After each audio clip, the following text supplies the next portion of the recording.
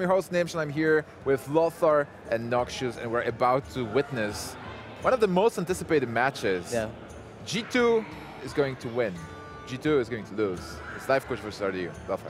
Yeah, well, at least we're having one player in the semifinals, right? So I guess that's good. That's good. Yeah, well, I mean, it kind of guarantees that no matter what, but uh, it's fine that you're, I, I, like that you're casting that match with us because on one end, uh, you know, you can be a little bit more maybe open about the way you think about the plays that they made or what you think they should have done. Uh, you know, not that you can't criticize other players, but it's easier maybe when you're your team. You feel maybe a bit more at ease with that. Yeah, well, I know them pretty well. Yeah. The problem is that uh, Life Coach is a very different player from other players that we have. Right. Like I, I, when I watch his games, I always find myself doing different stuff than he, he, he was doing, and most of the time his plays are better. right, yeah. Okay. So I see. I see what you mean. Yeah, I see. You know, it's also really weird that viewers might expect the casters to be better players than the than the players Right, themselves. but it's right? like a coach. Sometimes he just can't play soccer or football. My apologies. I, don't, I don't know who I'm offending here. yeah. Everyone. Uh, right, but uh, yeah, it's it's true. Sometimes it doesn't mean necessarily that you play better than they do. Yeah, of course. And we have the gift of perfect information. Yeah, and it seems like Life Coach is a guy with a beautiful mind. So even though he makes the, he makes those plays absolutely differently, and even if we, we can't track those plays really because he's thinking so far ahead, the the plays. Um, it, it plays differently. It, it's not necessarily the best and correct play. It's a it- it's a different line of play that might be better in the end. Yeah. Assuming uh, RNG doesn't necessarily go too wrong. Like from what you can predict, his plays seem always in line with the with everything else he does. Like that's what I love about watching him is everything feels cohesive. Like the play he makes on turn two makes sense six turns later when Yeah. he's setting something else up. yeah, the mini bot, right? Everything. Mini bot into you know muster into shredder and then Belcher. oh into man, the Zeus Challenger. and it, it just it kind of fits together because it's pressure and then and then he wins. And he's one of the most hardworking players with regards to how he analyzes the game because he spends hours just analyzing the, the, the past games. Just goes into the vaults and watches turn after turn, spending sometimes even 30 minutes analyzing just one turn.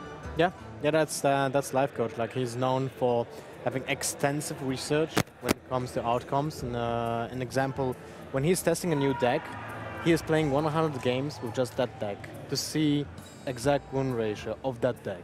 Yeah. And that's that's a lot of time when you think about it. 100, 100 games. Let's see. Uh, let's say that's seven seven minutes per game, right? It's crazy. That, and that's a life coach game, so it's more than seven minutes. But let's say it's seven minutes. Yeah. Seven minutes per life coach game? You're being. I just want to say it's seven minutes if it's like um, you know that's Escape the average. Yeah. Average on aggro decks, Sure. right? Yeah. So on ladder there might be about seven minutes, yeah. right? All right, and that's life coach. On the other side, we have RDU, who is also spending a lot of time. But when I think about life coach, I think about specific plays. And when I think about RDU, I think about specific matchups. Like RDU is studying the matchups exponentially, and he is discussing with everybody what beats what and how to prepare for a specific um, situation as well. So he is a hard worker himself, but there is a, a big age difference. Doesn't matter though. Yeah, well, the age difference doesn't really matter. But I think he looks up to life coach as a just as a player in general. Mm-hmm. Um, I, I feel like sometimes life coach is kind of the dad of G2. I don't know if that's like it's a really bad way to put it. Uh, it's not even the age itself, but he's a like, he's very down to earth, and he's going to be able to like set Thijs and RDU in a mindset that's going to make them better players, right? Yeah, Like that's share that mindset about him. Yeah, that's that's what's happening in the team. Uh, when I when I was creating the team, uh, I thought that we we need that life coach. We need a life coach. And I, I thought this to to make Thijs and RDU better players because they're really young both. Mhm. Um, they need to to be just more um, more mature. Just, I mean, of course, in game. That's Yeah, of course. That's a different. It's a different story outside of it. Yeah. Uh, but I mean, when you're spending so much time in it, it does affect you as an individual, and I think life coach is a pretty good choice for that. I, I'm I just- think it worked pretty well. Yeah. I'm just thinking about the family setting for G2. Like, if life coach is the dad, and then we have two kids, Artie and Thijs. He's the who is- mom. who is not- Oh, Hi, oh Mom. god damn it. Hi, mom. Oh, that's what it was. Oh! yeah, but that was before we were. Oh, that's right. That's right. Yeah, before ever Miss. set up. Or so you say. All right, so Artie and life coach, we actually sat down with them and talked to them. What did they think about the tournament? So let's see what they think.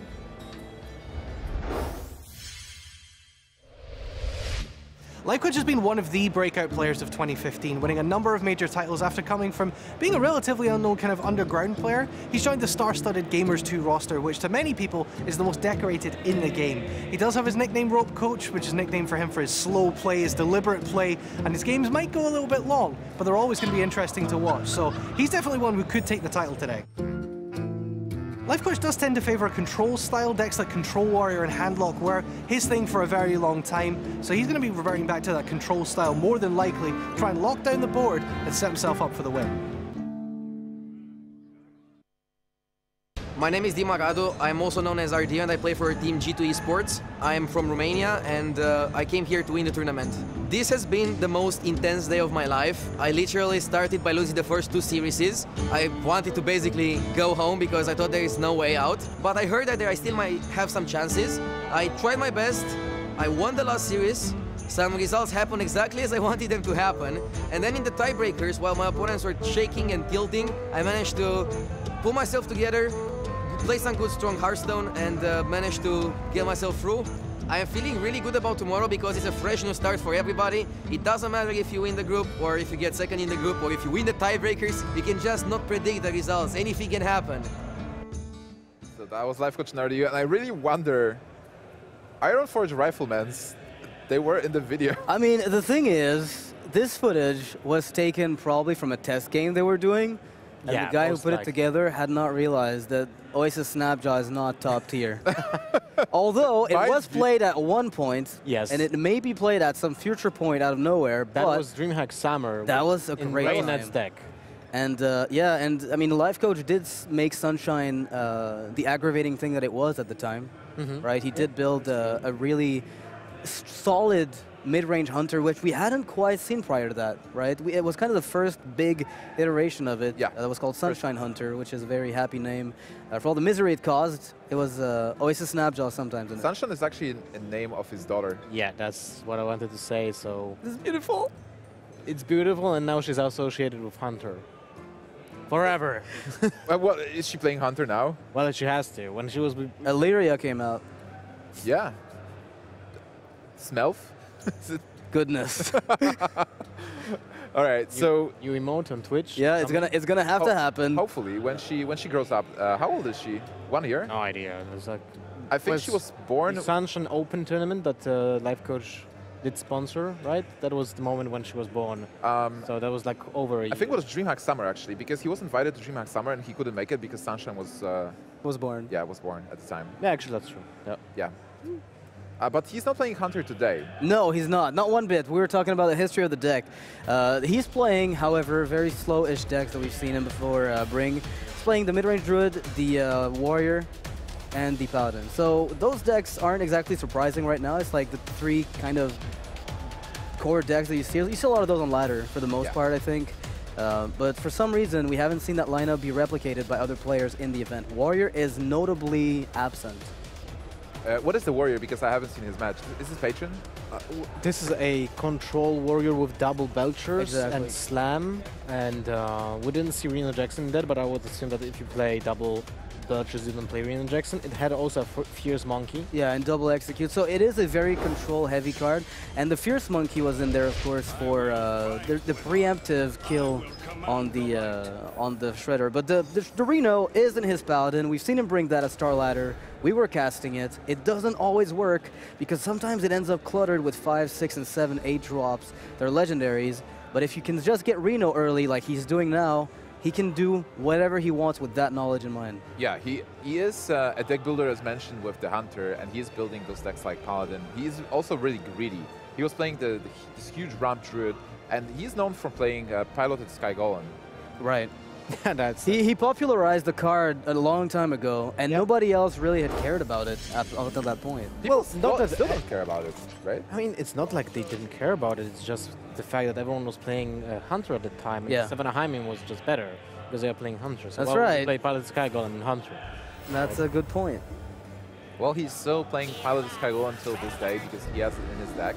So what do you guys think? Paladin versus Paladin. That weird Paladin from Life Coach, which is mid-rangey.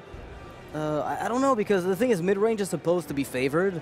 Well, the reason it's favored is because you're packing double muster, double mini bot as well. You're packing all the doubles that help you contest the other paladins early game, but you're curving better late game. So technically, uh, the mid range is favored, but in a control deck like this one, I'm not too sure the edge is that big. Also, RDU is playing an aggressive one. Yeah, RDU is playing an just pure aggressive um, paladin with divine favors, and that's also one, one of the reasons why he's so aggressively emptying his hand. Yeah. In this situation, the problem is that there's the uh, uh, there's the peacekeeper that will shut down the blessing of might, which is of course something that RDU didn't want to see, but. Uh, it's still not looking bad for him. He can curve out on free with Coghammer. He needs that that minion though uh, for the Blessing of Kings on 24, and this might be a problem for him. That's a great card to pick up, but it's not going to be useful for a long time to come unless Life Coach decides to, uh, start drawing, which is very, very unlikely in a deck like this one. And so now what RDU has to do uh, is to attack into the Peacekeeper. Although he's playing the aggressive version, he needs to have the minion for 24, and the Yeah. only way he can do that is to set up a Divine Shield again, right? So he needs to kill the Peacekeeper, uh, which is achieved by attacking into with the mini bot and playing the Coghammer. Yeah, it's it's okay, but still, it's not the best situation for RDU where he has he is forced to trade, and Life Coach is just fighting for the board. He's happy. I mean, the thing is, RDU has to dodge Truesilver Champion, Keeper of Uldaman, a Blessing of Kings, if that's in Life Coach's deck. He has to dodge all, even a Coghammer. He's got to dodge everything that Life Coach could ever have that deals damage immediately on 2 health. And there's a lot of that stuff.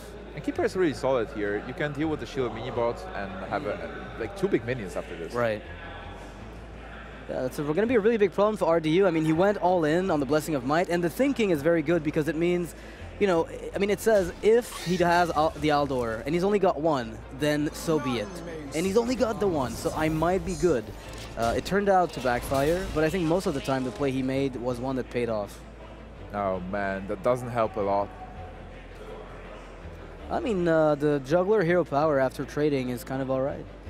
It, it's something, Yeah, it's a start. but it's uh, by no means a, a great play. And Lothar, what are the comeback mechanism mechanism in this deck? Divine Favor is one if you draw the cards, but what is are you looking for? It's not like a comeback mechanism. It's rather a um, a card that allows you to just dish more damage. Doesn't do anything when it comes to regaining board control because the deck is not about Yeah. having board control at all. So whatever you want to do is always to deal damage. And this is the only reason why you're running the Divine Favor, because you need that Blessing of Mights, those charging charging creatures like Argent Horse Riders. Um, and yeah, that's that's basically it. Yeah, and I, I like the deck uh, that he's bringing just because it's kind of a different twist on the aggressive Pally. Uh, it's probably running Sir Finley. There's no reason why it wouldn't be in the deck. It's Yep. such a good card to include in a deck like this, and it's got, it's got to be curving up with Leeroy Jenkins as well. The Blessing of Might, maybe one or two Arcane Golems. You know, that like it doesn't have to run all that stuff, uh, but it, it absolutely can, and that's a lot of aggression to be putting in this deck. Maybe a Shredder even to help against some of the mid-range decks. Yeah, so a deck is good overall, and it brought him here to the top eight. But right now it looks like he is in a very bad spot. Conditional cards that need minions on board, and Life Coach is taking the board away, and he still has the heals and everything he wants. Yeah, but this creeper is really solid because right now that means he can kill the 3-2. So the juggle earlier that hit the 3-4 Yeah, allowed him. We didn't mention it at all, but it was a really big deal. Uh, and now with the creeper, no matter what happens to it, he probably has a body to use kings on and might, which then means divine favor gets maximum value. hmm That's true, but it, well, we just just talk here about what is the best outcome for RDU, but the Reno Jackson alone can probably just seal the game. Yeah. There's no there's no way for RDU to put, you know, Nerubians with Beneath the Crowns in that deck. Reno is such a Ben Brode card. It is. It It's just- is. I just hear the laugh. When you look at the card, it's like, oh, you're exchanging some minions, playing some cards. I still got you anyway. Yeah, I mean, it, it's one, and, and again, I'm really scared of that card. Uh, as I said earlier, I, I'm scared that in the future it will just become like very oppressive uh, once it becomes, you know, viable to run Highlander on everything. Yeah. Just because more cards open up for two, three, four, five, and then Reno's kind of an auto include, and then everybody has 60 health, and then when you factor that in, That's everything changes. That's right. So does it mean that aggro decks will have to be even more aggressive, having more burst, like the Shaman, so you actually Right. can OTK. You can kill people from 30 to 0 Yeah. without allowing them to Reno. That is some vacuum stuff. man. Yeah, it is, but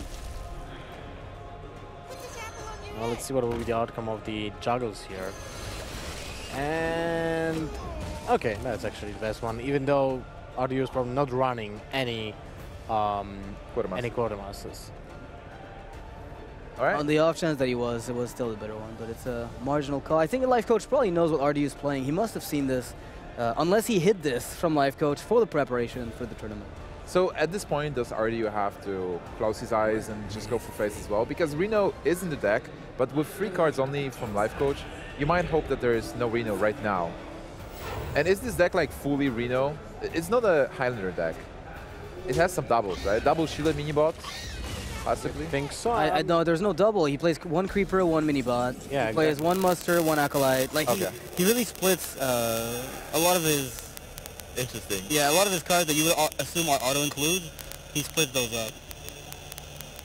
And then Murloc Knight will also bring a lot of value here. Imagine if that will be the local, local warrior. Yeah. Or even oh, old Murka, yeah. Murka would be just devastating. Second Murloc Knight, because you can. Isn't that important? It's, it's good. It brings even more value. You will not be able to, well, you just will have to attack with the Shredder into Juggler after this, but still, an amazing voice position. And he goes for the Rainforest. Let's see what the Frog summons. And Oh, nice. Yeah. After I think I think after the Aldor Peacekeeper, the one of Aldor that life coach had, just after that single turn, everything kind of fell apart immediately. It took Yeah. exactly one card. And I think that was a correct move from RDU to play was, the yeah. Blessing of Might because he is aware Life Coach is playing a Highlander deck, so the chances of having a Peacekeeper on turn 3 are, well, Pretty slim, Pretty yeah. slim, It's yeah. one card, and you probably didn't mulligan for that, right? Uh, even if Yep. you're facing off against aggro, are you gonna mulligan for that? You know, Aldor versus what? A mini bot plus Blessing of Might? I don't think so. ooh. Well, Well, the nail was not in the coffin yet. Uh, I think that Life Coach might have just actually played just the Piloted Sky Golem and Hero Power instead Yeah, of the, instead of the uh, Consecration here. Yeah, I mean, Yep. it's uh, maximum value, and he does a lot of plays like this where you, you don't have to use it now. Something might go worse. You know, Muster comes out, and then you need the consecration for real. Piloted Sky Golem is, is flying, It is. It is. so now you can you cannot. You can't you can't actually block it. Yeah. Yeah. It go it goes all the way over your belter, and it laughs at it. Spiders should be able to block it. Would they have reach? Yeah. Okay. Massive battle for two mana. Sounds balanced, Yep. but you can't play it. Mini bots on two. Oh yeah, right. That makes that bad card. Yeah, I didn't think about that. So probably I guess you can just use the Sky Golem first into the Pilot Sky uh, in Pilot Shadow. Wow. Tournament medic. Okay. It is okay. If you if you didn't have enough heal in the deck, this is even more heals that you get. I think you can even slam Reno this turn. Can you slam Reno? You can do about anything you want. I mean, you can go Consecration, Muster, attack into the 3-4, trade the 1-1, attack face with the 3-2. Uh, like, it doesn't really matter what you do. At this stage, you can basically do whatever you want. There's one card in hand. So if you want to play a, around Divine Favor, maybe spend more cards. Mhm. Yeah, I mean, you're playing into Consecration a bit more if you're playing, say, Muster here. Uh, assuming he does go for the Consec, so Acolyte of Pain saves you from that. Life Coach is patiently Guard, you here. I mean, RDU, You have a tournament medic against an aggro deck when you have board control. What can go wrong? he just has to kill it. Just deal 8 damage to it. If RDU concedes here, I would not blame him. Well, I mean, you see the mini bot with Kings, right? It looks like nothing, but right now there's no way for Life Coach to clear it. It's He not going to deal a lot of damage. You can just ignore it. Yeah, you can ignore it basically for what, four, five turns? before, before it's really a threat. But he can't kill it yet. So RDU might think, yeah, if I can get this down. Oh, oh. Oh. oh, that is that is not nice, Life Coach. Oh, that is an escape concede from RDU. Yeah, Yeah, definitely. I saw the hands move all the way to the top. That was the fastest keyboard. escape concede I've seen in this tournament. It's like the Alt F4 in Diablo 2 Hardcore. Yeah, I'm about. Yeah. oh no, that's hell. it's good that Hearthstone players are actually not throwing keyboards. Throwing Well, keyboards. we, we have seen that. it, it does happen. I, I remember Lothar infuriated a certain gentleman. He didn't want a handshake after that. Yep. Well, no. Was it Alish? Was it? Well, I, I- I imagine it was, yeah. Yeah, Dream DreamHack, Tavern Tales, The adrenaline was high. patron, patron. I still blame Sivka for not letting me to the grand finals there. God damn it, my druid didn't draw wild groves. Yeah. Three times in a row. You need to learn from Thijs. Welcome to the casting you- couch then. Ah. Well played. All right, guys. So that was an important win for Life Coach, and now he stays with his uh, Reno Paladin, which is an amazing deck. It's it's great to watch. I love those calendar You don't see too much of it because one of the things that Reno did is force people, or force, rather incentivize people to try out all the classes with it uh, to see if there was something there lurking. We saw Reno Druid, we saw Reno Warlock, which was the most popular, Reno Warrior Freeze Mage came up, Reno. with Freeze Mage, yeah, and now Reno Paladin coming out here from Life Coach. So, he, you know, people try all sorts of Reno decks, uh, but not all of them stick. Generally speaking, you do have to have good ways to, you know, s- switch cards in and out Yeah. for the slots, uh, which makes it a bit difficult. It is a great challenge for deck builders. How do you build a consistent Highlander deck? Yeah, it's uh, it, it also makes every single card that you see in the future. You ask yourself, could this replace X or Y in my Reno list? Yeah. Right. Yep. It's, that's also one of the good things that I like about it. But it, it also kind of makes the deck um, like a constant when it comes to curve, and you just Replace the spot. Yeah, you just Yeah. replace a card that's currently fine. It's kind of like the Harvest Golems of Druid. Shade came out. Out go the golems, come like in come the shades. Now Yeti's out, Shredder's in. Like the, the I think mid-range Druid has done the most um, swapping of any deck because it hasn't changed like fundamentally. All it changes is the face of the guy who's punching you. Well, there was a phase when uh, Ancient Watcher Druid was a uh, That's was a right. really good deck. You're right. With the uh, oh wow, so many attempts were made to make that deck. A lot. It was a good deck at the time Mm-hmm. um, because the Novice Engineer was actually 1-2. All right, guys. So Paladin versus Druid. We talk a lot about the Druid, and Druid is here. With the it hasn't changed that much recently. Only Darnassus Aspirants has been added. Yeah, and I really like here we see RDU going for the Innervate Coin Drake. He knows Truesilver is not coming out. The worst case scenario is something like a Muster for Battle or a Coghammer. Um, but, you know, he's got a swipe. He says, you know, if the 1-1s come out, then so be it. It's pretty But bad. there's again the Peacekeeper, and this is kind of ridiculous when you think about it. yeah. Yeah, it's a one-off in the deck. and it's curving too into everything else. Yeah. It That is a solid deck. Yeah, it's like Wild Growth, How right? do you? So Lothar, when are you going to start playing a Reno Hunter? Or have you I tried actually already? played it already. Played already? Made a cosplay. Is, it- is it good? I mean, the deck. Deck, cosplay, everything. Well, it's fun to play. yeah, it definitely is fun to play, and tracking makes it so sick.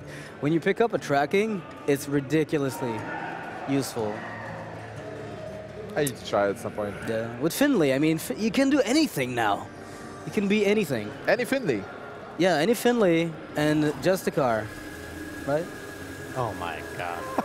That's a good one. Yeah, you can actually get. Well, that's what I play in Aggro Priest. I just turn myself into whatever I need. It does make Shaman viable Mm-hmm. because you finally can jump the hero power. So the Aldor was not used here, which is interesting, right? Uh, because he doesn't care too much about the damage, but he also knows that if RDU on turn 3 had a play, like if he went for Innervate Coin Drake, he probably has a 3 drop.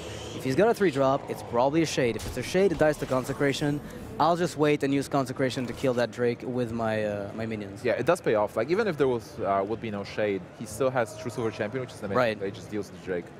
So very nicely done here by Life Coach. You know, holding on to the Aldor for something a bit more useful, say Druid of the Claw. Usually those are kind of your best targets since they have so much health. Conse- Consecration is interesting here, but you have still you still have to think about Truesilver. Like if you go Truesilver, you kill the Azure Drake right now. You, you go four to face, and you have Truesilver for the next turn when there is a four drop being played. So you do contest the, the second four drop, and using that Truesilver because you have Coghammer might be useful. But then what do you do on turn five? You don't really have a turn five Yeah. play unless you want to go with the Aldor. And you give RDU a full swipe, right? Instead of trading some of those one ones, he just gets a full clean. Yeah. So I like Consecration because you do kill the Shade and you use some minions from your board as well. yeah, I- think it's mostly because you're probably not going to get a much better one. It's a Druid. Yeah. Druid normally doesn't have that many minions. He has like one or two that I want to punch your face. And when it has three minions, they're charging at you. Yeah. And then die after that. And this is a really awkward draw from RDU right now. He Yeah. needs to cycle that. He needs to find an Emperor, I think, at this stage. Because if he does find the Emperor Thaurissan, then he's got a fairly good chance of just, you know, one-two punching his opponent before uh, Areno's played, or any type of healing, really. Well, he would need to have two takes with the Emperor to make a double force of nature. Yeah, that's right. Roar. Yeah, or find the Innervate. Oh, look at that. afterwards. There's Emperor, but for the other player. Yeah, this is an interesting turn still. So what you can do if you feel like there is Druid of the Claw next turn, do you go for Truesilver or do you just uh, play the Frog? If I expect uh, the Druid of the Claw, I don't mind the uh, the Murloc Knight because what it does is it guarantees that you can use Aldor and have the extra damage from the Murloc Knight to use on the minion. Plus, you get to spawn a Murloc to go with it. Um, an alternative would be something as boring as Hero Power Coghammer. So you have a 1-1, you can then equality whatever comes out alone because you've already used Consecration. And then you can follow that up on 6. Right afterwards, you play Murloc Knight. So you have like your 1-1, your Murloc Knight, and you're baiting a swipe in which you play Emperor. So it's like three turns ahead, but like that Coghammer play isn't necessarily too bad. Yeah. Murloc Knight is probably the best because whatever happens, you have a minion. Like Truesilver was uh, contesting the minion that, that's going to be played.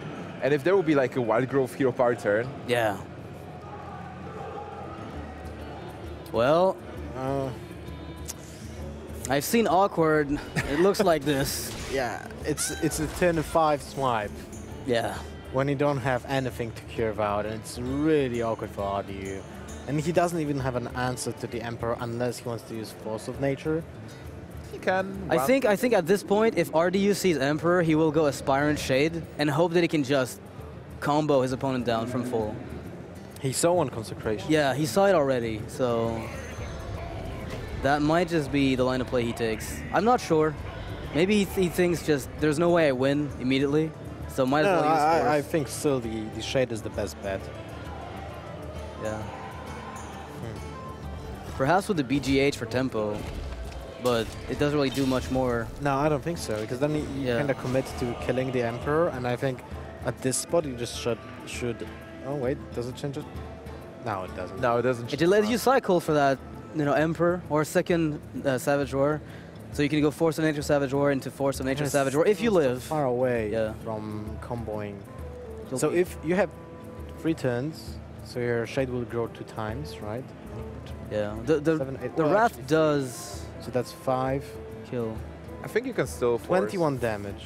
Hmm. I like I like force here. So you use one of the forces, and then you have the other combo left over. I mean, alternatively, like if you go for Shade Aspirant, the only issue is you give him another discount. Yeah, exactly. And that is, yeah, And if he has Coghammer, he can actually protect it. protect it and kill it, whatever you want. That's the problem with the Reno decks. You can't really play around specific cards. That's a good point, because you don't know what and when they're holding them. yeah, So I what, what do you do? How do you play Hearthstone if you can't when you play play cards? Arena, that's how you play re against Reno deck. Oh, he can have anything. Yeah, you know how you know you know what's in anything the can range. happen. That might be a good card. Yeah. for Reno decks, obviously. Well, it is an interesting archetype. Reno, uh, yeah. No, the anything can happen. In, with Reno, you Re- play one of each Murloc. You can you can actually play it with Reno, yeah, because the You deck, could the idea of the deck is to just survive and then draw, draw. draw, draw, and kill your opponent with anything can happen. Yeah. No, anything can happen for life coach though. Uh, nothing, nothing amazing. You just got that zombie chow that doesn't change much. So probably just play zombie chow, maybe hero power. This is really good for RDU though. This makes him. This gives him a break Yeah. from the uh, the constant minion flood from Life Pummeling. Yeah, pretty much. Well, Alfred was just aggressive with the weapons because he has so much damage in hand. Yeah. So the break is maybe not the best description of the situation. He does have a Drow, so it does the Wrath, which gives RDU a little bit of a uh, Heals him back. yeah. 22. 27 HP from the Paladin. So the combo with a 3-3 shade is only 19. Still, you just kill zombie chow with the Wrath. You hero power the 1-1. And I then don't think you should use the Wrath on the on the zombie chow. Yeah, I don't think it's necessary, but if you really want to protect the Aspirant and force the Truesilver charge on it, then Yeah. yeah. that's the only way to do it. That's that's why I like killing this the zombie chow here. a bit awkward, but ultimately everything at this stage looks awkward. Oh, he didn't have mana for hero power to this. So if there is a lay on hands for card draw, which happens sometimes when you feel like you're desperate for options, which he's not right now. Uh, Well, it actually might be. like that's the thing, right? Like he doesn't have an amazing hand, and if the druid just comes out with threats, Yeah, I, I feel like this is this might be the turn when you can play uh, Lay on Hands just because you have Equality and Owl for one mana, which will- allows you to really curve out yeah, on turn 9 when you can just fill that one awkward mana point next turn. with a big drop. Yeah. I agree. This is a really good moment. Does he play uh, Archmage, Arctief Ratham in that I paladin? have no idea. That would be amazing. Yeah, I feel like it would be a semi-decent fit. Not necessarily. It is summoned guaranteed. game. It, it kind of works out, right? Ooh, that's a good draw. Nice job. That's a really good draw because he just saw one Priscilla champion That's gone. being played. Uh-oh. Innervates haven't been played yet, I don't think. Oh yeah, we saw one on turn one, One- but there's one, one- left. There's And one. Thaurissan is still in the deck. Yeah. Yeah. And it, it doesn't seem to be like the game is slowing down suddenly. The paladin was really in charge, but because of that in hands, which which was very needed, uh, but it slowed the game down, and Druid now has the advantage because he has minions on board. The owl, uh, sorry, the Shadow of Naxxramas is not remove uh, is not easy to remove from the board unless the second consecration will be drawn. So if Life Coach will draw the second consecration, it will be immediately played and followed up by he will have four mana, so he can just play mini bot and uh, hero power. Hero power, yeah. Yeah. So now RDU has initiative. He is the one with the minions on board, and he is the one with the possible OTK. No way, he's using hero. All right, he says, I've seen Consecration. There can be another one. Let's push. I'm comboing next turn, and I can win with it. Uh, but now, Life Coach with the Loatheb Coghammer can put a stop to that if he wants. And the Aldor on top of it. Surprised on with Yeah. trade because, I mean, even knowing that the opponent has low tap here, I mean, That's enough. it didn't make sense just to not play into consecration just after lay on hands. One one was not that threatening, right? The what? Sorry? The Uh, one you can k- kill the one one with hero power, Yeah. and uh, you still have two creatures on board. And imagine if Life Coach would actually draw the second consecration with the lay on hands. And look at this now. I mean, we're talking Coghammer into Aldor. This is the perfect outcome for him. Mm-hmm. Something along those lines. I mean, he can kill the 4-2, he can then Aldor the Drake, and let the Shade be a 4-4 if it wants to be. And now the burst, all the burst that RDU had waiting in light, just waiting around, is just gone. Yeah, it's suddenly vaporized. Even though he still is sitting on a double combo, he doesn't have a way to trigger it. And he, even if he does, it's 27 and a taunt with Divine Shield. Well, there needs to be a keeper, can I mean- for eight damage. Yeah, I was gonna say if RDU, uh, if RDU, if Life Coach doesn't use Aldor, then a Keeper of the Grove top deck for RDU would be amazing. Oh, Oh my! Wow.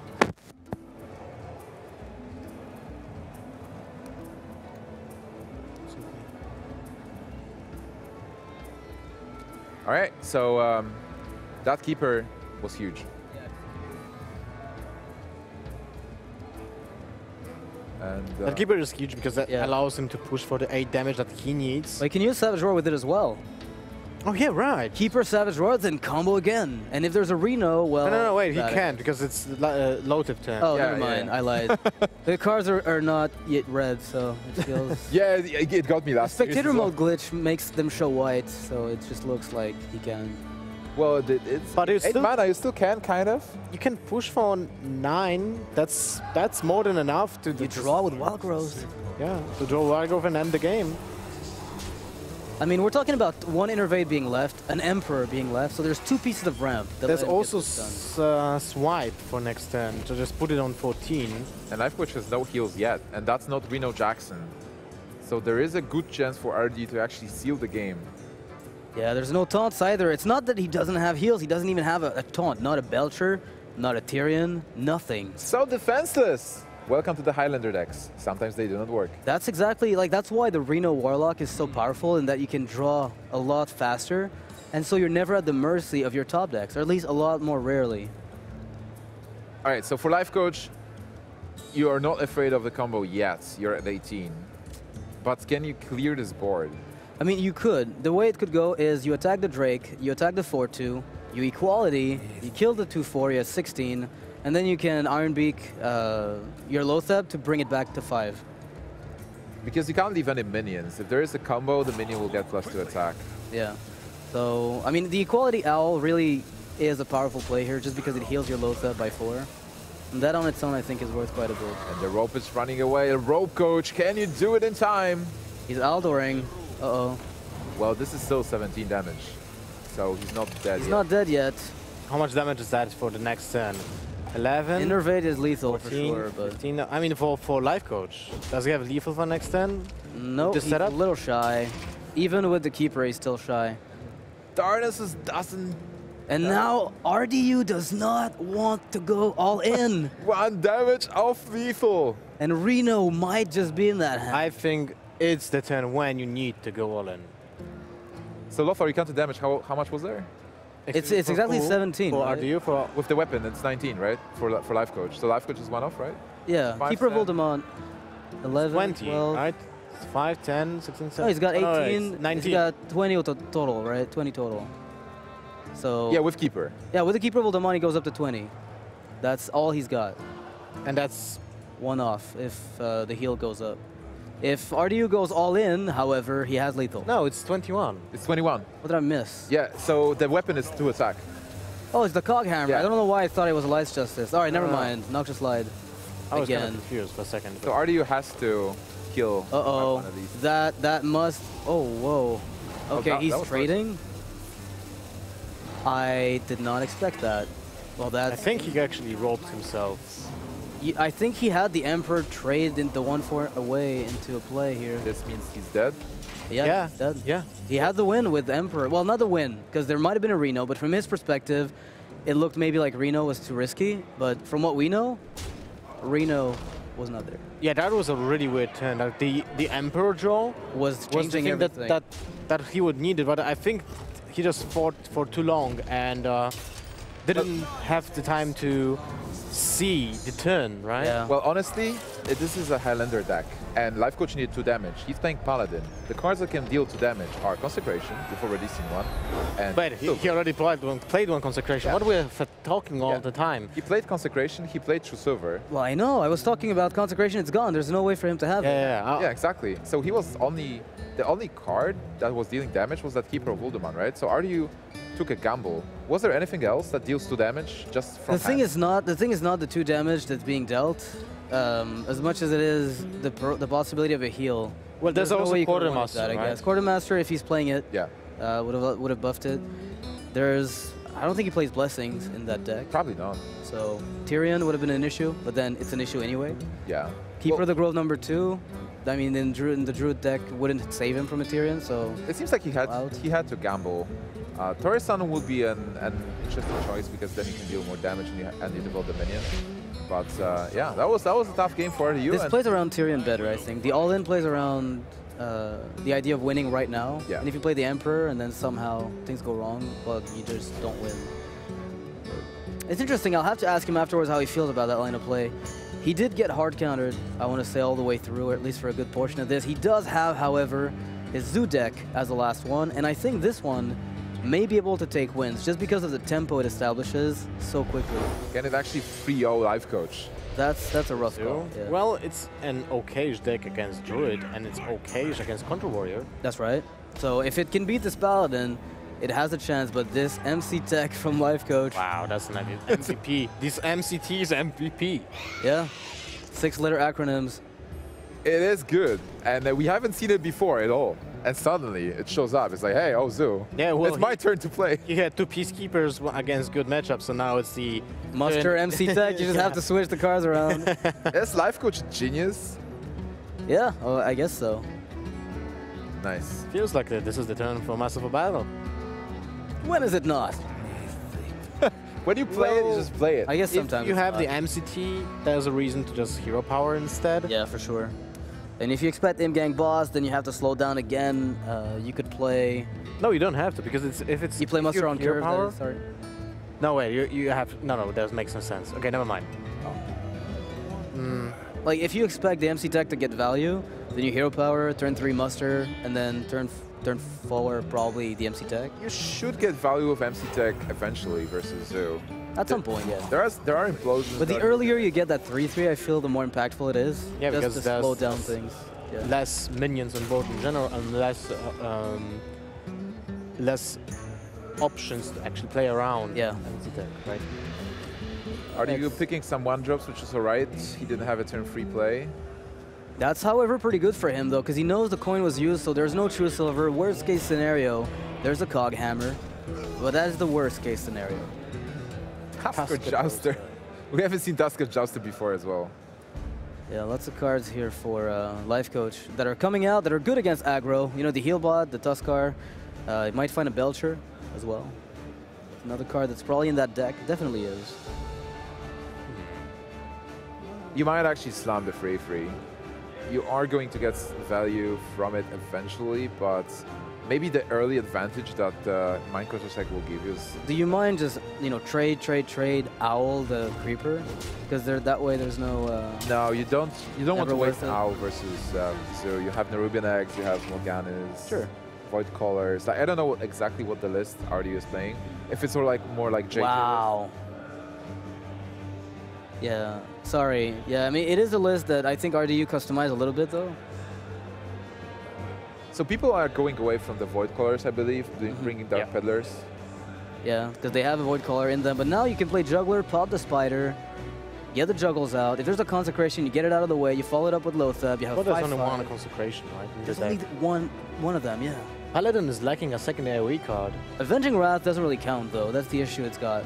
He needs a recruit rev, Yeah, like demon rev. kill all. recruits. Yeah, kill kill all. What you should do is kill all your recruits and deal two damage to all minions for each recruit destroyed. What you can do, you can play one Pyro Monster in this deck. Oh, that's true. But then Pyro Monster, Muster for Battle Combo. Yeah, and it's like the Unleash the Hounds and Hunter, man. So if consecration exists here, RDU does get a full clear. I mean, uh, Life Coach gets a full clear if RDU. Uh, well, that's a trade that actually helps with that. Hmm. Because consecration suddenly doesn't wipe everything. You know, maybe he's playing around MC Tech. That's why he didn't play the juggle into pop. That's gotta be the explanation. He knows this deck. Yeah. They're teammates. No surprises there. Time on. So now the owl does look a bit better, I think. Perhaps even equality. Equality then owl. Absolutely. Yeah. What? Absolutely. you can add quality, then owl the Void Walker, so it's back to 1-3. and then you have to smash all your mins into it. RDU thinks you misplayed, he plays more stuff, you MC tactic, the big stuff, win. I mean, I, I don't necessarily mind equality here, just because the 401 dies immediately, and you're good to go. Like, it's so easy to counter that uh, that creeper for now. But if he, I mean, he's not gonna silence this creeper, right? Please, Yeah, Why that not? rogue coach. should still wait probably for because you can kill the minion easily. I, I actually. If he- if he did that- should be played here. Well, he should have played it before, because he could have gone kill the Voidwalker, silence he- it, kill it, then Yeah, equality, what right? So I I don't think there's any reason to do it. All right, so we see the Dark Peddler here from RDU. He does have the Juggler Implosion, which is going to be amazing for him, hopefully, uh, in order to come back in this series. So this then is just slow tip. You might pop the Spider now, try to get value out of it while you can, but it's a tough call. I wonder if there's any value in tapping. Like how how much cards do you want? Oh, you could you could find it. I mean, if you played Juggler, you're surrendering the possibility of the implosion. Uh, you need, I, I feel like you need to keep that. You know there was no no implosion. Uh, sorry, no consecration. Yeah. Right. So because that was a turn when it was actually a viable option. Hmm. You have to kill one one of the one ones because the quartermaster exists. If it exists in the deck at all. Well, do you mind it though? Because if it quartermaster it double trades and then you play juggler implosion on that uh, two five, it's probably somewhat fine. It probably should be better if quartermaster actually is not available. I don't know. I don't know if quartermaster is being played by life coach. I haven't seen Yeah, it's not even guaranteed that he plays that Yeah. card because with one muster, it's sometimes very tough to find room. Now, if life coach wins oh, this... Oh, this, he won. He won. he took the heal. Reno. But RD knows that there's Reno still in the deck. Yeah, that's good well, information. For I mean, th- this is a kind of a funny situation because with that info, RDU can be very aggressive, but at any point, it healed anyway. Right. It still ended up healing Life Coach for seven. If that would be a consecration, that would be great knowledge for RDU. But he's probably still going to slam. It Chakra. reveals only minions, right? Yeah. That's, Yeah. Oh, it Oh, it only reveal minutes? Okay. Yeah, it does not get spells. That's Okay. how much Joust is That's- back to the metagame. We played it so often. Jousting? What is this? Well, now it's the turn for. Unleash the Ilms. Yep. It's got to be it. I mean, you can flood the board with four of them at best. You have s- potential six juggles. Yeah, it, it- I mean, the, the one-on-one spiders, if your implosion doesn't roll very high, that's still another backup plan. It just needs not to roll for two. Oh, perfect. My God. That is impressive. Perfect. Kill all Finally, those dudes.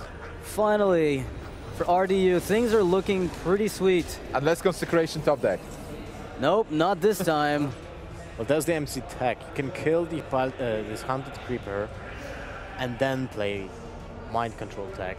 Try sting Loatheb. Yeah.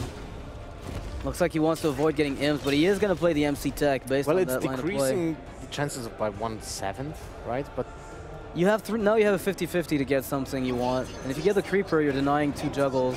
That's oh really and good. Oh, oh, my wow. God. Yeah, that's that's interesting. Juggler is, is very good here, and he still will, will be able to play Zombie Chow. And hero power, so that gives him two more juggles. I wonder if the creeper will be silenced at some point. After all those turns, this owl's like, seriously, bro. You, you, I have to do this. I don't want to hurt you. It's very interesting um, synergy, right, between the MC tech and the nav juggler. Well, yeah, the way the battle cry and uh, the trigger effects uh, happen. Oh wow, what a sick juggler here. Nerubanag. So, the peddler is gonna have to do quite a bit of work here. That's a great card. Yeah, you can kill the uh, the knife juggler Yeah. in this situation with your hunted creeper or the imp, so that set up's a good good trade. And if he gets Mortal Coil from Peddler, he will Ah. be able to kill the MC Tech as well, right? Interesting note. So he didn't see Consec. He knows it's not there. Wants to get as many minions on the board as he can. That's the reasoning. So now that he knows there's no consecration, he can just overextend. He can still play in the Rubinek if he wants to play around. I think it's the imp gang boss that has to be played. Unless you go for the flame imp and dark peddler, but you should have played the dark peddler Peddler- first. Yeah, exactly. So So this this indicates that he, he wanted to go for the imp gang boss, but now he's thinking about the egg. It's interesting choice of action. I mean, uh, inter interesting uh, ordering, I guess. ordering.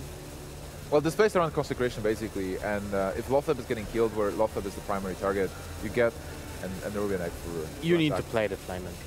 On the right side. on the right side, yeah, next to the spiders. Yes, exactly. Yeah, perfect.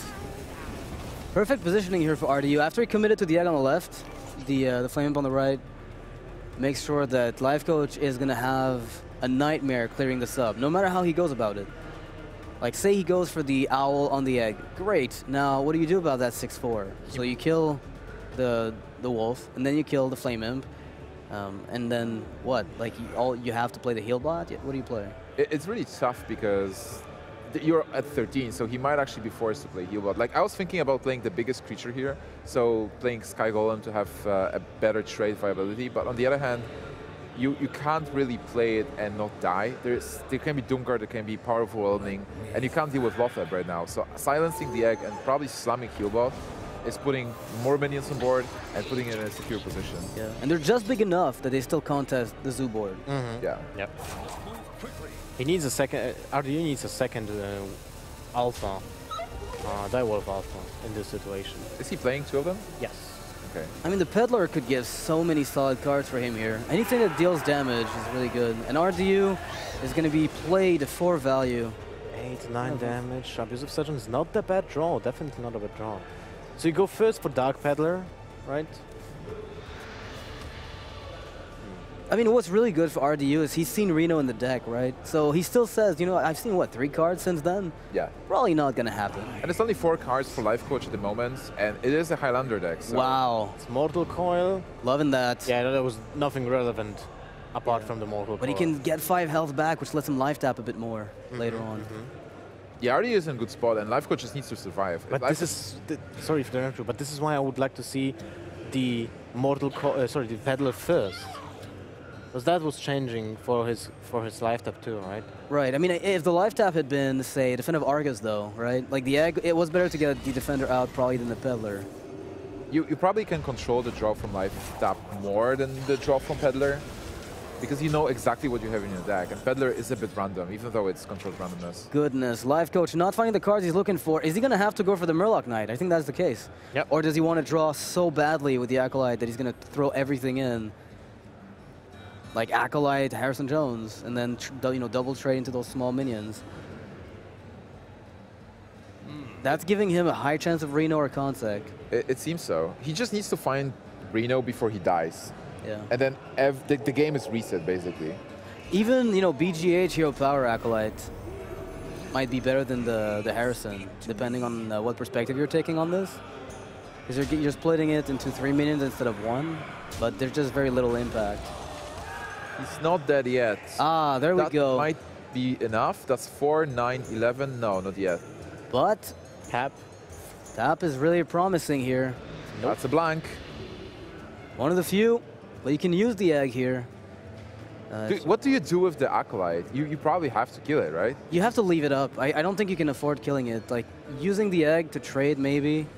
I feel like if you're going to taunt anything up, though, That's the egg. it's going to be the egg somehow. You get like Argent Squire on the left, maybe, uh, with the Creeper, and you can play the defender between both of them. Wait, what about the Argent Squire and Defender? Yeah, that's, that's what I thought he might do.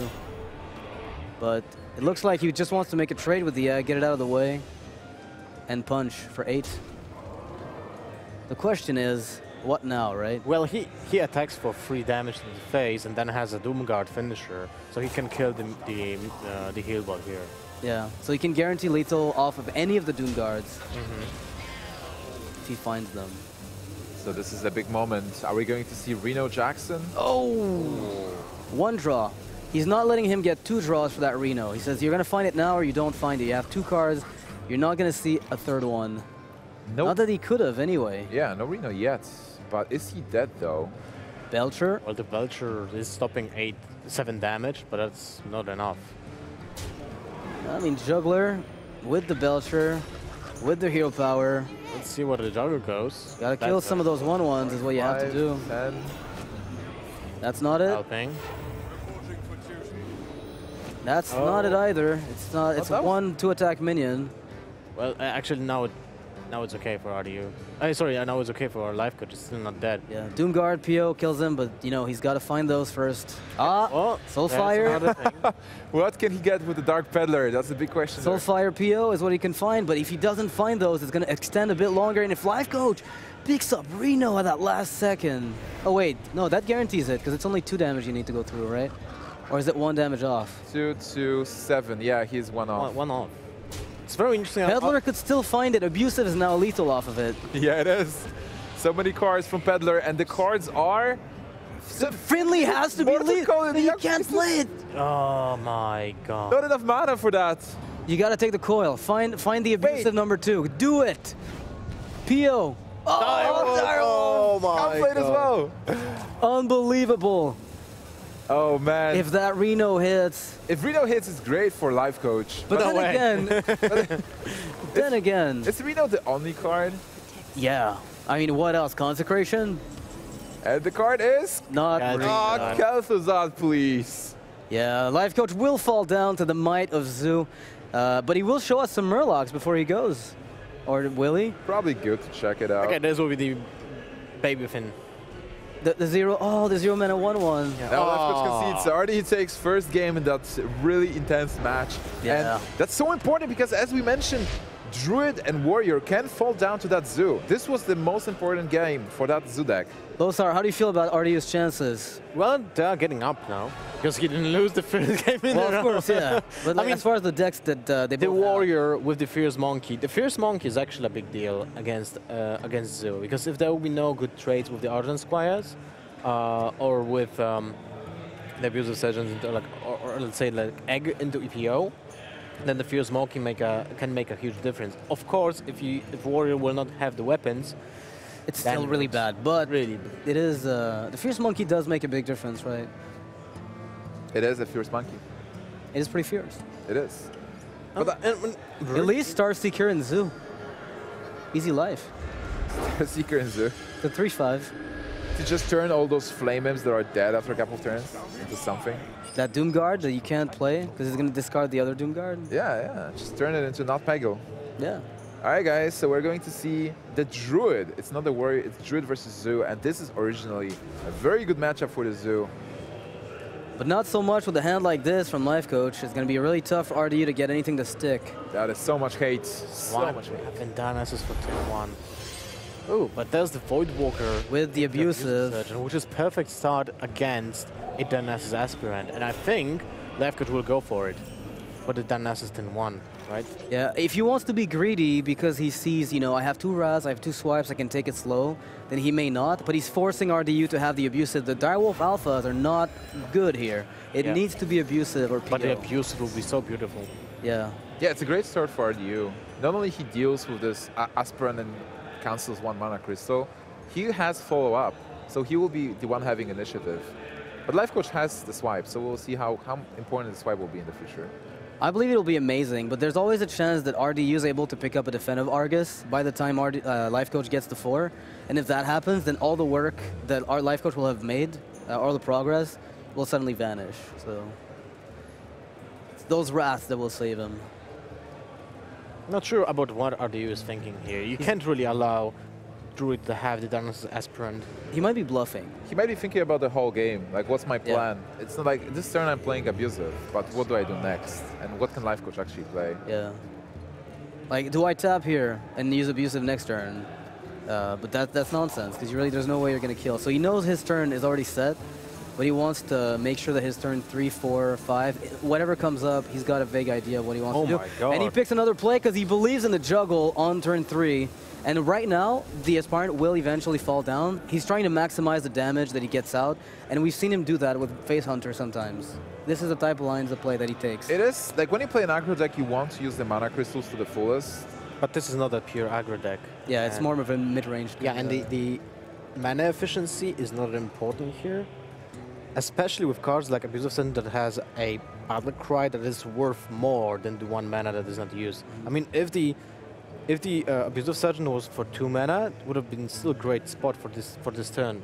If you could, if you could play it for two here, would you? If the answer Yeah. is yes, then why didn't you? Yeah, exactly. Um, so the Wrath here, if it kills the the Voidwalker, you can then kill the Direwolf And and, maintain your mana. So Yeah. the only way you get pushed out is if there's a juggle coming out, which suddenly you know hits it, or Peddler plus coin. If it misses, it will be disastrous. It will be, yeah, absolutely. Juggler will be contested by the 2-1.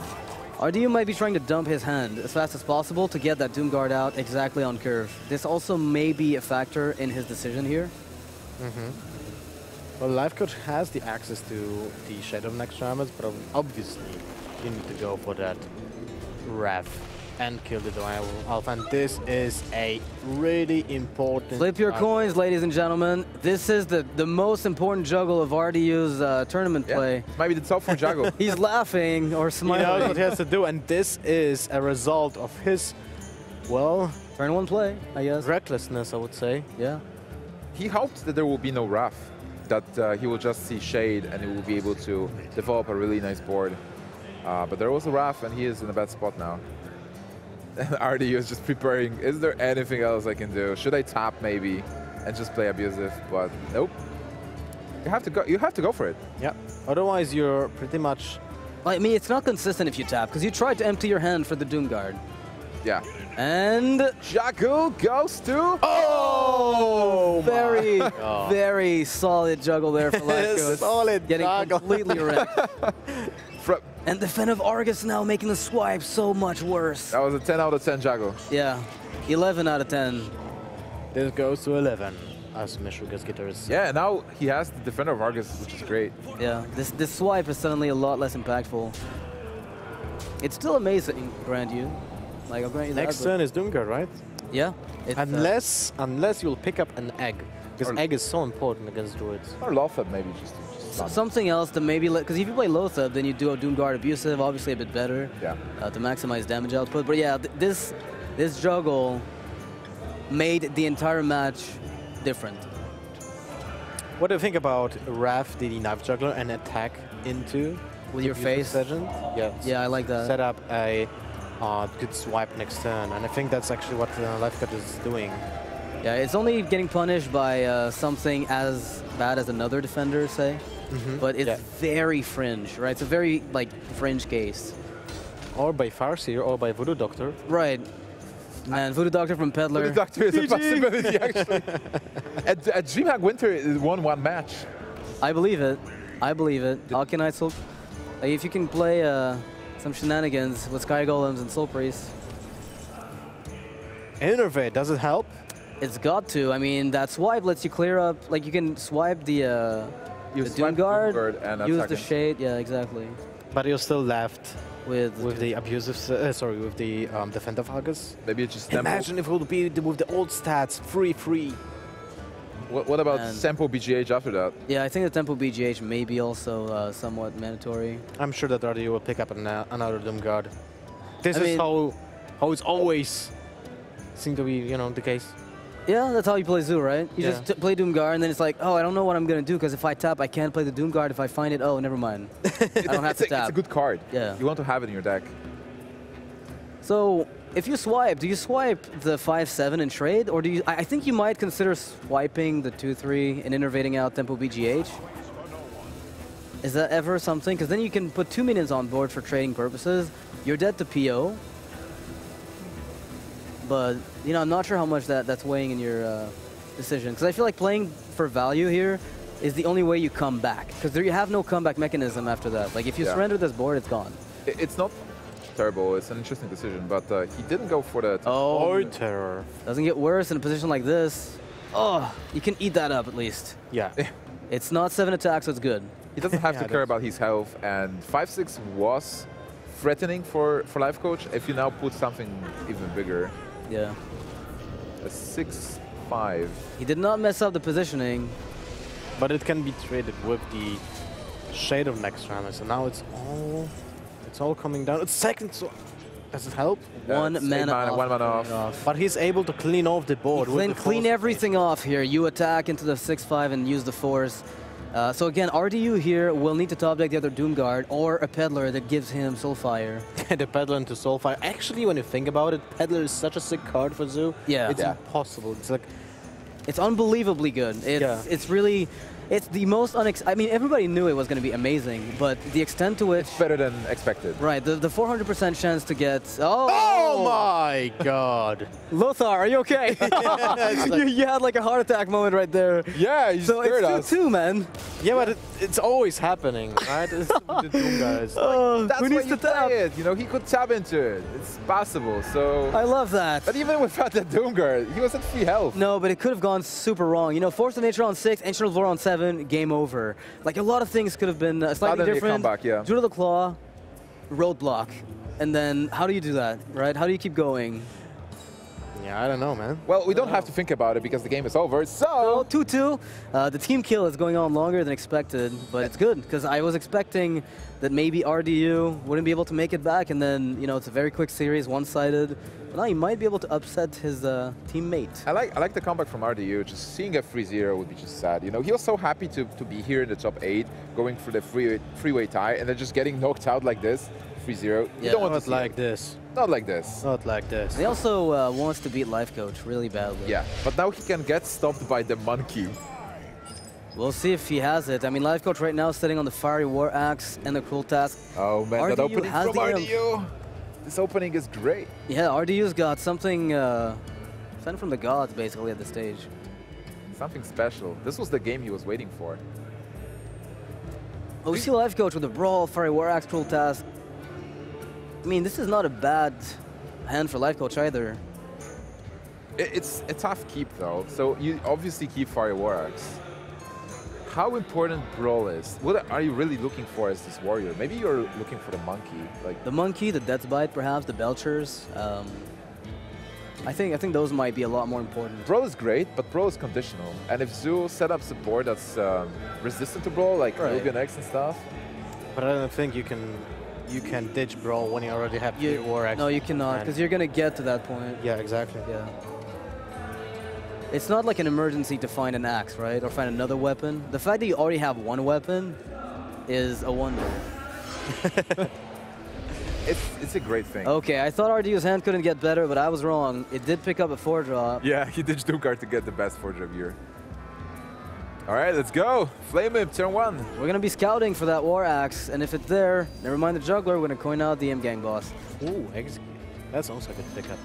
Especially with the Taskmaster already in hand. Yeah, it's pretty insane. Good activator. Three damage to the face, but that's a slow start now. Ah, that changes a lot of things. You can protect the juggler now. But then you have to play Imp Gang Boss of three, which is kind of weak to Death's Bite, but there's the Knife Juggler. It's still good curve.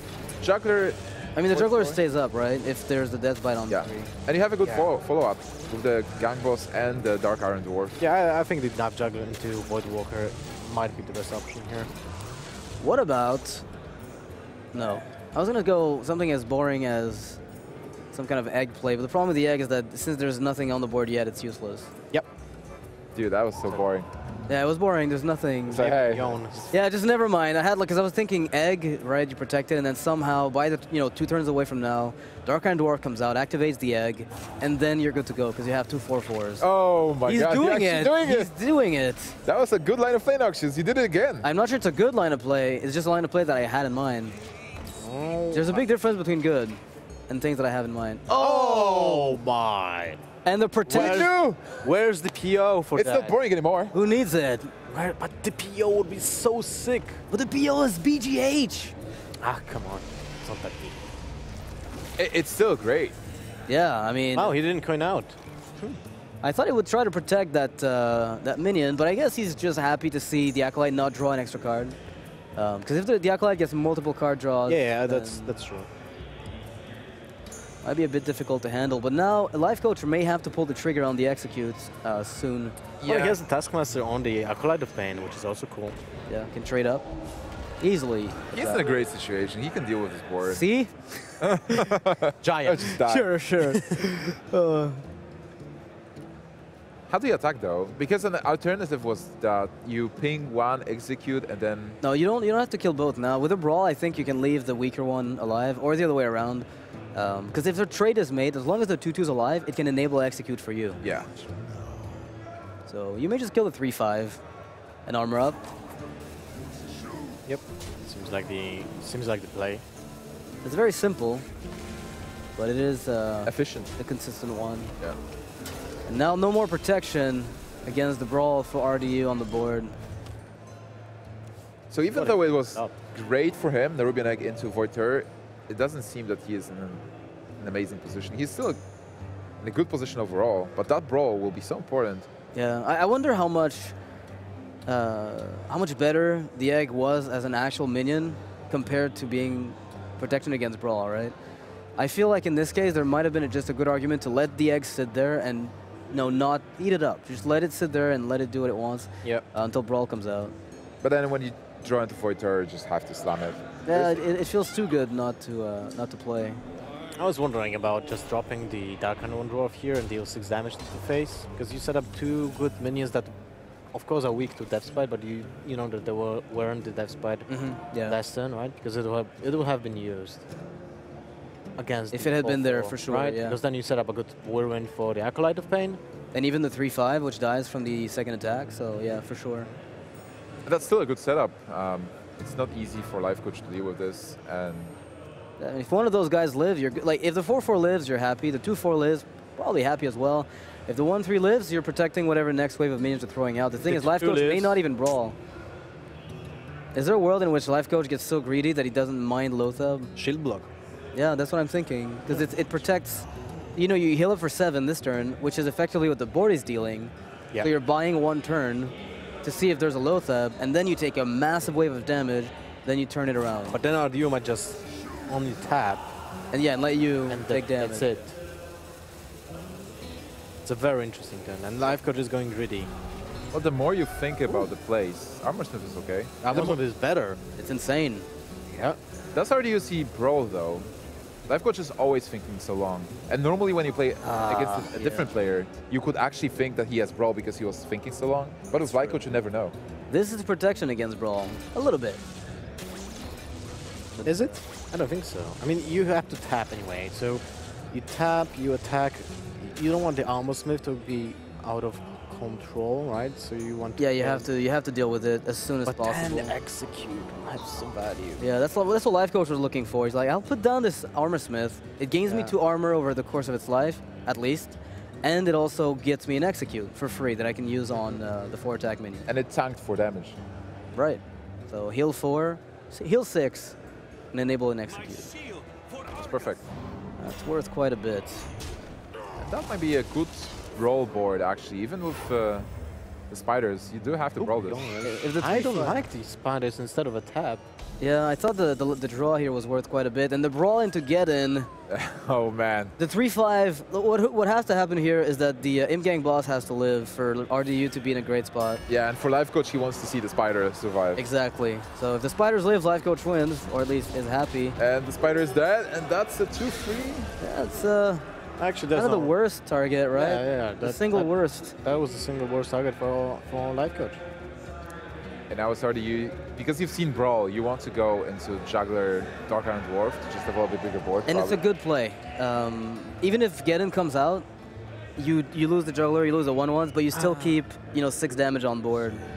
So I, that might just be fine.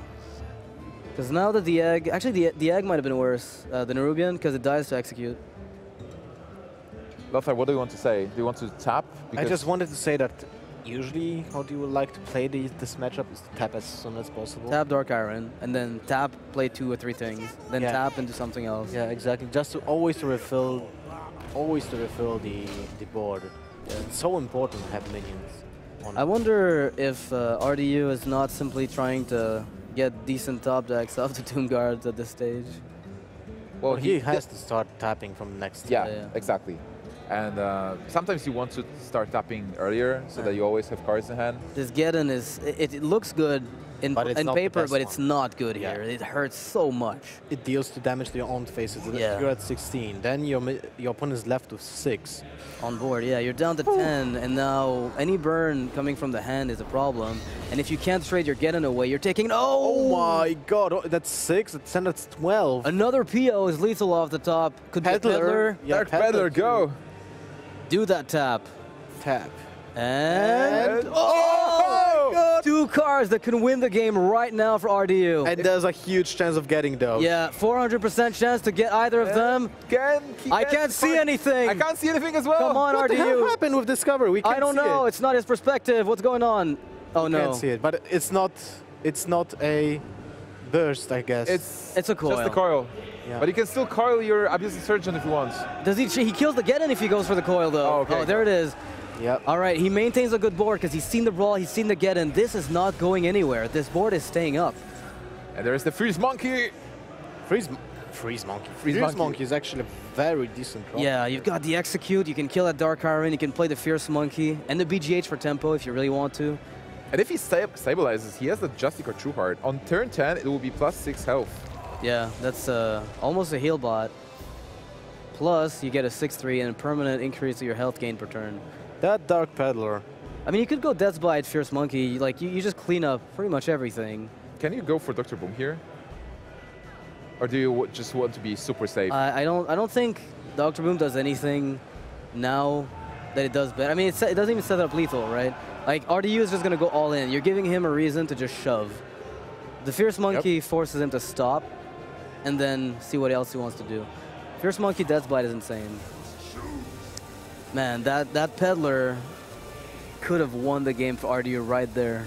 yeah, it could have. It could have won that game. He's going for Boom. Oh my god. It's That's the, eight damage. Doomguard or it's the biggest PO number card. two.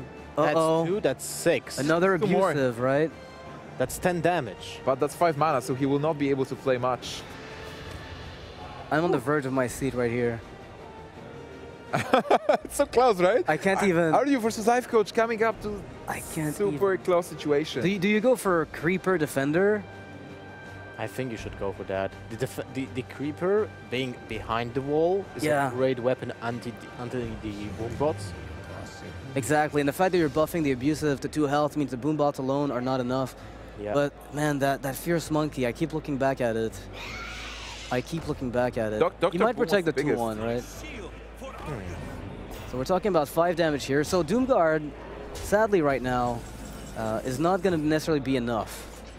Because suddenly you can't PO it. If the board is gone, then Doomguard doesn't work. I didn't like the Haunted Creeper of the taunt, to be honest. I don't mind them if they're popped, because the, the worst case scenario is a Whirlwind happens, and I think that's what Lifecoach is going to do. Use the Death's Bite, override it and with Fiery Fierce War Monkey, Axe, right? Yeah. and then Fierce Monkey. Yeah.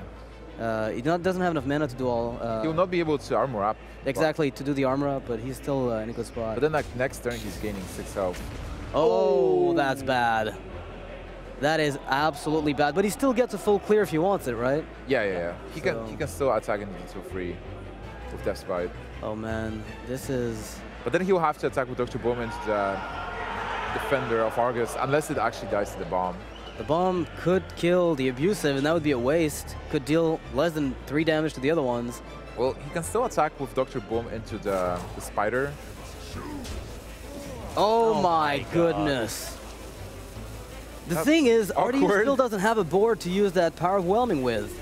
Yeah. He still doesn't have access to that. Do you play around Power whelming? You know RDU was keeping that card. But yeah, Lifecoach, Life Coach knows what's up. Yeah, Lifecoach knows that RDU is probably holding some kind of burn. And RDU is not going to be happy to see this, because now he's like, oh, I have to kill a Fierce Monkey. Wait, Owl. Did, uh, did Lifecoach not attack with the Death Bite? he, he didn't attack, He didn't. attacked with He the attacked with fiery Fireworks. over. Oh! What could this give?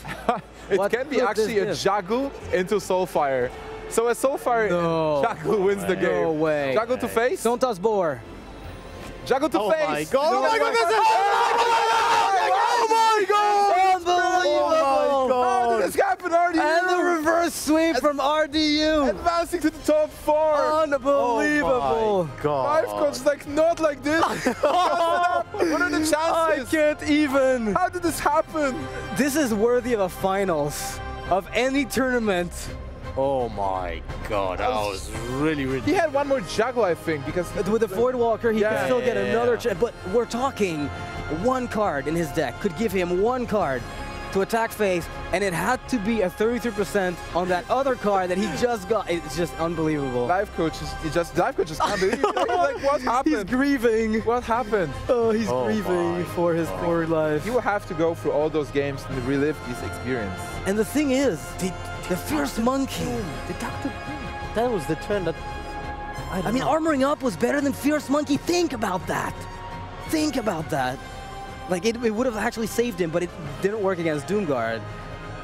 It, it's it's beautiful. And I, it was one of the Oh, biggest feels- moments in esports. Look, look at him. Like he's he's crushed. It's because he had everything under control. He was he was winning. He had RDU just next to him. He could win. So close. I don't even. Well, I still think the Dr. Boom on turn 8. Was very greedy. Yes, it was the greedy. Like, Lifecoach was greedy with the shield block on turn 5. I think it was greedy lines all the way. yeah, yeah, but uh, he stick to the greediness. That, Yeah. That's good. It's consistent. It's, it's consistent, cohesive, cohesive, Consistent greed. but the turn when you could actually just play Pad into Fierce Monkey just to stem the bleeding, because you know that you can deal with a Doom card because you still have Execute Yeah. in your hand. And just just to exhaust The zoo. Warlock, the Zoo. Eventually, you get Justicar, you go armor up, Justicar, armor up, and then you win. That's Yeah, it. just and plus imagine, life. imagine when you can play, you have the, the, the Death's Bite already on board, it's one durability, and then if you need it, you just drop Dr. Boom, attack, you have the bombs. And Yeah. the bombs can also Trigger, regain, yeah. regain the, co- the control over the board. So I think the Dr. Boom on turn 8 was really just so greedy. It looked like an okayish plan, but um, Yeah, Nimsh mentioned it, but I thought it was very dangerous. like we talked about it, right? Yeah.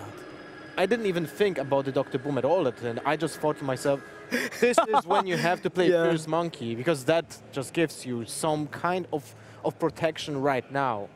How incredible! How incredible it is that we mentioned at the beginning of the, the match when we analyzed that the fierce monkey might decide this match. Yeah. it kind of did. It did in a way that it, could, wasn't played, could, right? Yeah. Yeah. Uh, and in the way that Lifecoach relied on it to prevent himself from dying to Doomguard, but it didn't work. Yeah. He he wasn't playing around Dark Peddler into Soulfire. Well, he saw one peddler, right? And the peddler missed. The Peddler number two. And the Jackal was- had to hit as well. It So had to be. wasn't only a- As I Soulfire. said, like he wasn't weak to Soulfire. He knew that. Yeah. He was weak to Juggler, into Peddler, into Soulfire.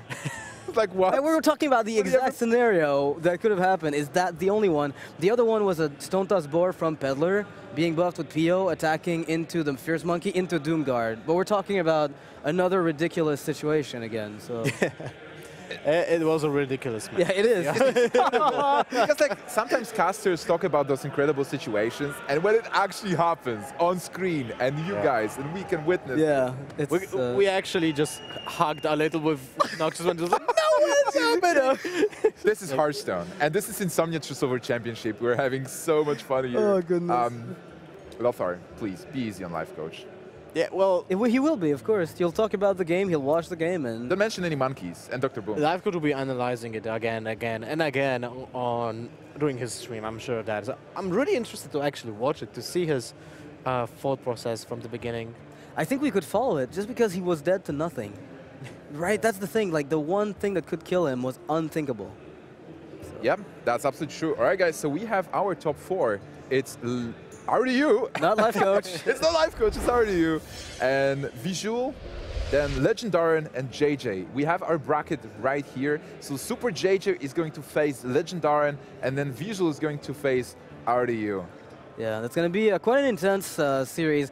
The the um, the stats or what we know about the players say we should end up with JJ and RDU in the finals, but Visual has been upsetting everyone. And Yeah. he was playing the Tempo Mage. Tempo Mage. And the Hunter, right, with Snake Face Hunter. Great against RDU. Yeah, yeah. And he's just growing with every match. He is a different Visual that he was yesterday, right? He spent his whole night just training. I don't know if you saw the match earlier, but his Tempo Mage play was a lot tighter. Yeah. A Yeah. lot tighter. Than what we saw yesterday. Yeah. Well, that was still a situation that was like kind of.